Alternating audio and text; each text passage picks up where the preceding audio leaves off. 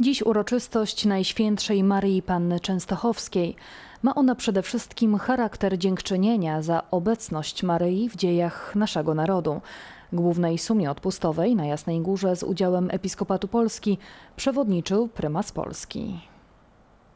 Uroczystość Matki Bożej Jasnogórskiej to wyjątkowe święto dla nas Polaków. To imieniny Maryi, która obrała sobie to miejsce, żeby poprzez stulecia być blisko kolejnych pokoleń tego narodu, który w szczególny sposób ukochała.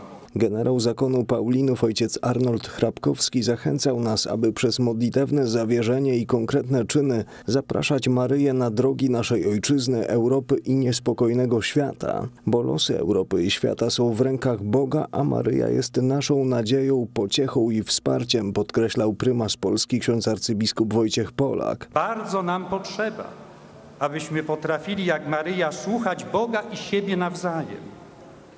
Bardzo nam potrzeba jej pokory i odwagi, ufności i zawierzenia.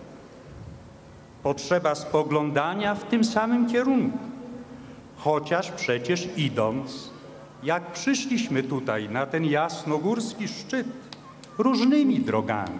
W czasie Eucharystii tradycyjnie ponowiono jasnogórskie śluby narodu polskiego, których autorem jest błogosławiony ksiądz kardynał Stefan Wyszyński. W Twoje dłonie składamy naszą przeszłość i przyszłość, całe nasze życie narodowe i społeczne. Jasnogórskie śluby narodu polskiego to swoisty program odnowy życia religijnego i moralnego naszego narodu. Zawarte jest w nich zobowiązanie m.in. do ochrony życia, nierozerwalności małżeństwa, umacniania rodziny, dbałości o pokój, sprawiedliwość, dobre współżycie sąsiedzkie i społeczne oraz walki ze społecznymi przywarami, m.in. lenistwem, pijaństwem i rozwiązłością.